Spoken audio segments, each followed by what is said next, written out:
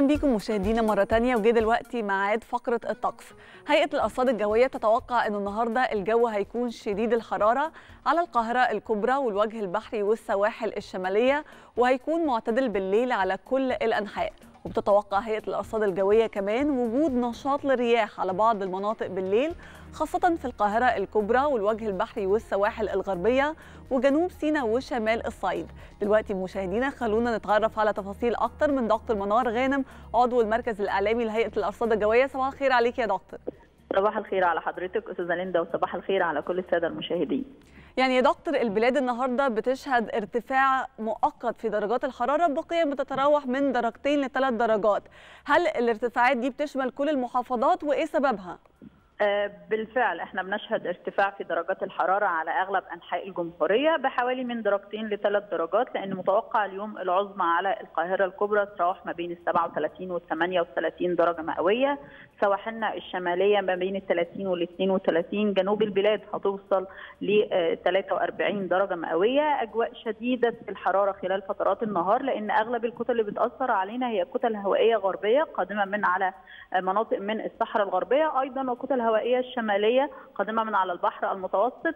بيؤدي كمان ده لارتفاع طفيف في نسب الرطوبه خلال فترات النهار فهنحس أكتر بالأجواء شديدة الحرارة خلال فترات النهار وخاصة على أغلب مناطق الجمهورية القاهرة الكبرى محافظات الوجه البحري شمال وجنوب الصعيد. أجواء حر على السواحل الشمالية.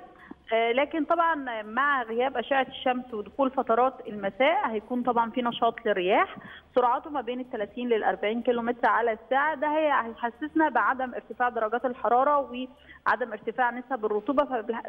فبالتالي هنحس خلال فترات المساء وفترات الليل إن شاء الله بالأجواء المعتدلة.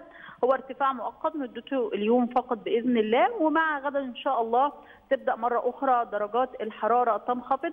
طبعا درجات الحرارة تنخفض مش بالشكل اللي إحنا دايما بنشهده هي تنخفض بحوالي درجتين. فهنعود تاني للأجواء الحارة فترة النهار معتدلة فترات الليل.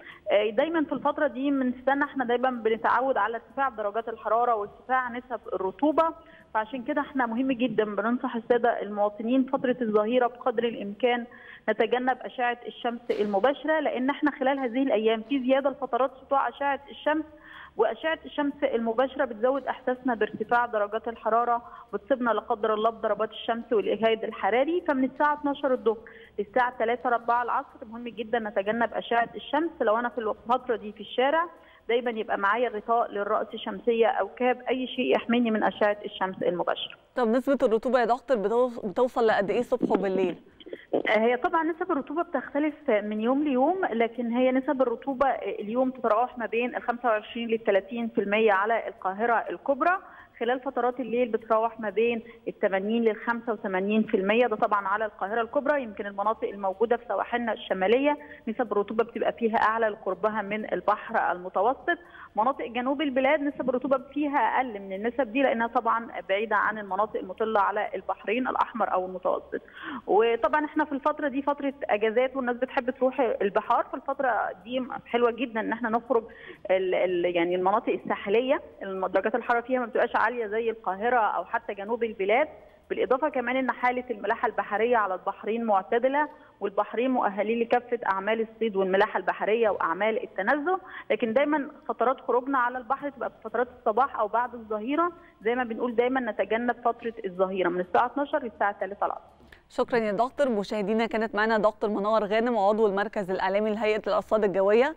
دلوقتي مشاهدينا تعالوا نتعرف مع بعض على درجات الحرارة المتوقعة والبداية كالعادة هتكون من القاهرة. بتسجل العظمى في القاهرة 37 والصغرى بتسجل 24 الإسكندرية العظمى 32 والصغرى 23 مرسى مطروح العظمى 30 والصغرى 22 سيوة العظمى 38 والصغرى بتسجل 21 بورسعيد العظمى 33 والصغرى بتسجل 23 دمياط العظمى 33 والصغرى 23 الإسماعيلية العظمى 36 والصغرى بتسجل 23 السويس العظمى 37 والصغرى بتسجل 23 هنروح للعريش العظمى فيها بتسجل 34 والصغرى بتسجل 22 طابا العظمى 36 والصغرى 21 سانت كاترين العظمى 31 والصغرى 15 شرم الشيخ العظمى 39 والصغرى 28 الغردقة العظمى 37 والصغرى بتسجل 28 الفيوم العظمى 38 والصغرى 26 بني سويف العظمى 37 والصغرى 23 المنيا العظمى 38 والصغرى بتسجل 25